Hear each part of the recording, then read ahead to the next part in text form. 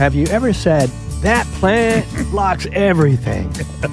Now's the time to move it. That's right. All the time. How many times do you hear that? Oh, know, That's my, right. my plant is overgrown and I can't see. Yeah, that's right. It's like, a, uh, and also it's a safety thing. It's like I'm Oh, afraid. yeah. For I've had people say, "It's like I'm afraid that somebody's going to hide behind it and jump me when I'm going into my house." Oh, yeah. Well, here now is the time to move it. Now is the time to move. But a warning, a warning. There are just a few plants, and it's oaks. Like if you have an oak tree that you want to transplant, or a birch that you want to transplant, they don't like to be dug up in the fall. And if they're at the garden center's nursery, and you can buy them and put them in, but you just can't take them out. So there's no fall digging of oaks and birches for the most part. Um, that's just one side. But what do you do? What do you do? The bigger the ball, the better the transplant success.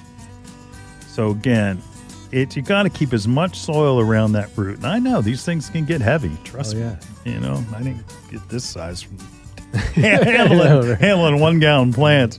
Um, you know, there's one thing too is like if it's a shrub, like say you want to move a butterfly bush, cut it in half. You know, make it small so that you can dig it up easier, move it around so that it's not all top heavy. Uh, any shrubs, for the most part, you can get away with that. And then you're going to move it to where you want it.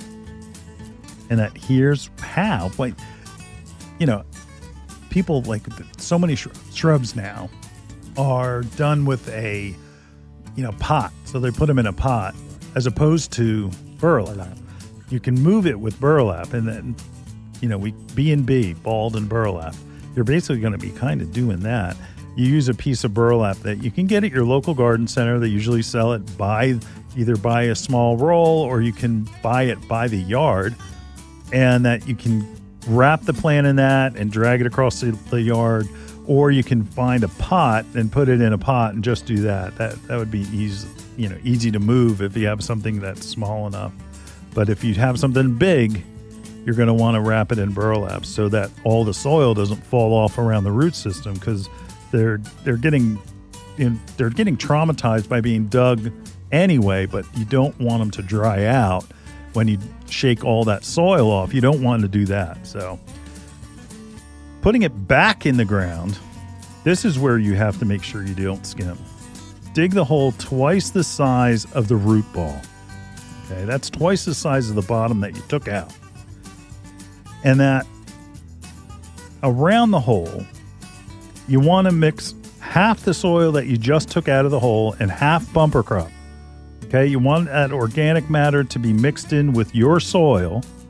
All right, and we want to plant, uh, place some more back in. Take that, and put it back in the soil. And how much do I put in?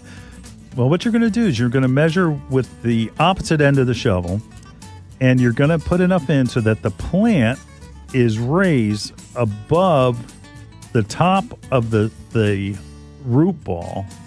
So it's going to be at the same level or higher than it was.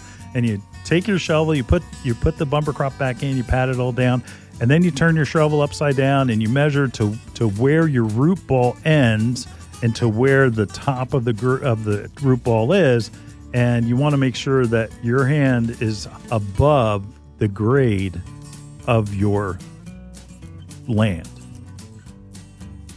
That makes sense, William? Yep. It's going to Yeah. be above, a little bit above the ground line. Right, because Yeah. what'll happen is that you have this nice soft bumper crop, and what's happening is that it'll settle. Settle down, yeah. It'll settle. And one thing that's most important, a lot of people don't do, Yeah. you're going to backfill, and you're going to put all around that half and half mixture of bumper crop in your soil, and you're going to put it all around the root system. And then you're going to compact that soil all around the sides, eliminating any air pockets that could dry the root system. Because again, they're going to start to grow now, but they're also going to be vulnerable in this in the winter and spring. If there's like an air pocket, that section is going to possibly kill those roots. You want to make sure that you eliminate any of those air pockets. And again, tamping around the edge of it and the sides and making sure that that it's nice and solid. And then you're going to water it. And you're going to water it until the ground freezes solid. So that's going to be a while. Um, so again, don't uh, skimp there because that's the difference between success and failure. And again, th- don't forget this. Don't forget to go back and fill the original hole that you just took it from, so nobody falls into it. You know, you'd be, Yeah. you know, mowing Whoops. the grass. You know, oh, it's like whoa, yeah. So you break your neck. So again, make sure that you go and you fill uh, backfill in that original hole. So uh, I've seen it. anyway,